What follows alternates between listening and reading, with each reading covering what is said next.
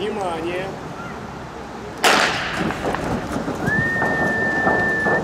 Ну что, давайте поддержим участников Ну смотрим!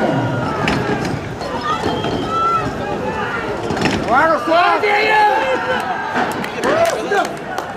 Я сказал,